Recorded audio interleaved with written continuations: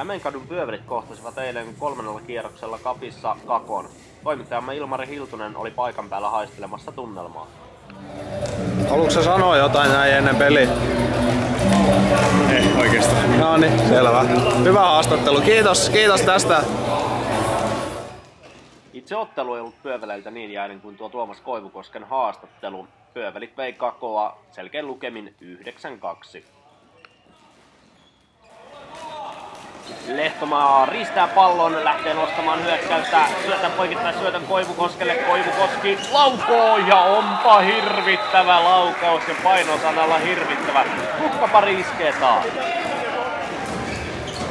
Sitten nappaa Travanti pallon, tarjoilee poikittaa syöttöä Lastunen laukoo. Mies, joka ei ole tänään kyllä osunut mistään, osunut nyt 45 sekuntia ennen loppua ja tuulettaa antautuksella.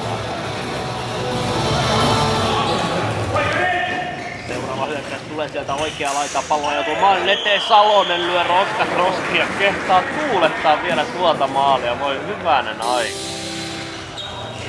Ja pyöveli ylivoima jauhaa Mäkilällä pallo. Sitten keskitalo. Keskitalo neppaa siihen Saloselle ja Salonen iskee ilman toisensa ja suutelee omaan nyrkkeen. Hän on varsinainen huumorimies.